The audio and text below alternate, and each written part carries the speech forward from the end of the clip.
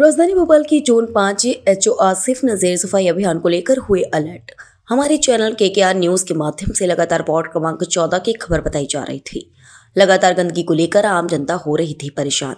जैसे ही हमारी खबर नगर निगम के एचओ आसिफ नजीर तक पहुँची, तत्काल एचओ दरुका द्वारा क्षेत्र में अपनी टीम रवाना कर सफ़ाई कार्य किया गया, जिससे क्षेत्र की जनता को गंदगी से मिली बड़ी राहत जैसा सपना।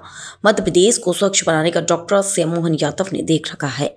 उस सपने को सच बनाने में नगर निगम के वरिष्ठ अधिकारी लगातार प्रयास कर रहे हैं, जहाँ लगातार महापौर मालती राय भोपाल शहर को स्वच्छ बनाने की लगातार कोशिश कर रही हैं। वहीं नगर निगम के कुछ अधिकारी भोपाल शहर को स्वच्छ बनाने में अपना पूरा सहयोग कर रहे हैं। संवाददाता अनस खान की खास रिपोर्ट।